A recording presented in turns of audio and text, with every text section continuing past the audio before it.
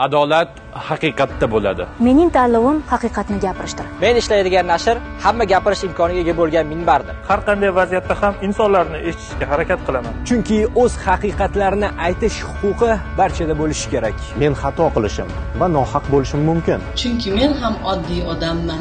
Mening vujudimda adolat tuyg'usi yashaydi. Uni hech qanday kuch yo'qota olmaydi. Biz mukofot yoki minnatdorchilik uchun ishlamaymiz. Shunchaki haqiqatni gapirmasdan turolmaymiz. Aytgan so'zlarim ijobiy natija bersa bo'ldi bundan ortiq yana qanday mukofot kerak? Ba'zan esa mag'lub bo'lishim mumkin. Har bir mag'lubiyat qalbimga og'ir botadi. Ba'zan otashdek yonishim. Ba'zan barchasidan ko'nglim sovishi mumkin. Ammo hech qachon kasbimga xiyonat qilmayman. Kasbim menga boshqalar uchun yashashni o'rgatdi. Birovlarning huquqlarini xuddi o'zimnikidek himoya qilishni. Boshqalar muammosi uchun jon kuydirishni. O'zgalar dardi uchun qayg'urishni o'rgatdi. So'z erkinligi mamlakatni farovonlik sari yetaklashiga ishonaman. Haqiqat har doim achchiq bo'ladi.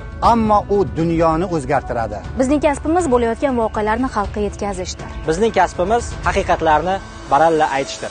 So'z erkinligi reytinglar uchun emas. Har bir inson haqiqatni bilishga haqlidir. Erkin matbuot aynan shunga xizmat qiladi. Endi so'z erkinligini bo'g'ish xalqning hafsalasini pir qiladi uning oqibati butun mamlakatga ta'sir qiladi. Shu paytgacha yaqin yaqingacha xorij matbuoti orqali barcha yangiliklardan xabardor bo'lganimiz yetar. Endi ortga qaytmaymiz